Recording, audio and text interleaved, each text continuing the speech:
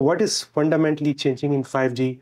Why would the small cell story be different this time around? So, originally, something like 4G or even 3G, the idea of small cell was that instead of having these large base stations that need a cell tower, a lot of power, perhaps there is an application and there is a better total cost of ownership if you just put in a bunch of smaller cells and and then make the coverage better, particularly in a dense environment. That was the thinking.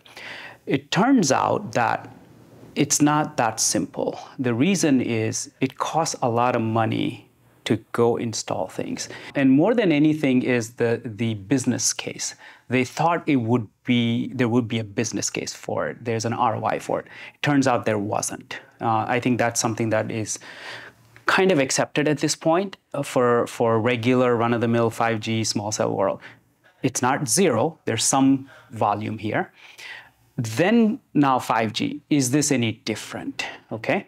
Going to the evolutionary part, I don't see it being that different. I think it's just the same kind of thing. Maybe you'll get a little bit more. The revolutionary part is interesting. There is the, that's the an indoor type of application. It's a campus network or a, um, a, a venue setting. You are now talking about something that is got to be indoor. You can't put a big cell tower inside.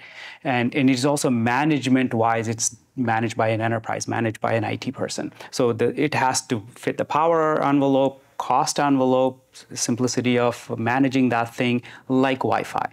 So, so that is small cell. So, so there is that part. Um, now that hasn't happened yet, right? But we do see a lot of interest now. I see more small cell indoor than I see outdoor.